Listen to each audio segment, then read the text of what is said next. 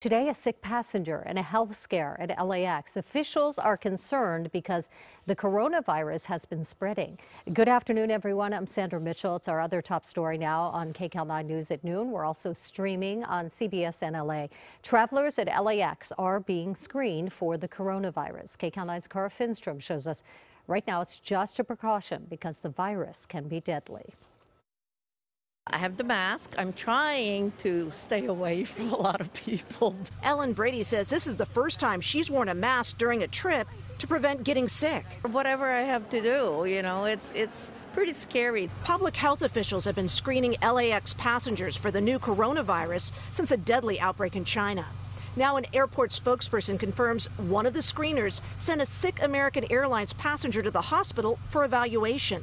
He tells us the passenger flew in from Mexico City yesterday evening, but the airport has no information about their diagnosis or whether any family members or other passengers were screened.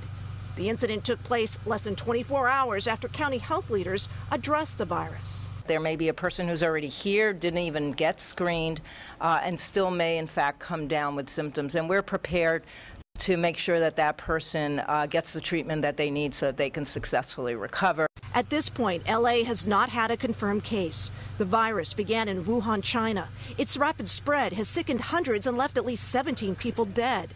One U.S. case has been confirmed in Washington state and several in Asian countries, but all those patients visited Wuhan before the city suspended outbound travel.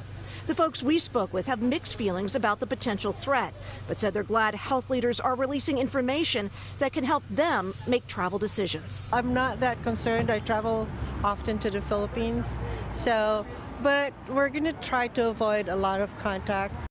And we did check in with both the CDC and local health officials, but have not heard back yet with an update on that patient's diagnosis.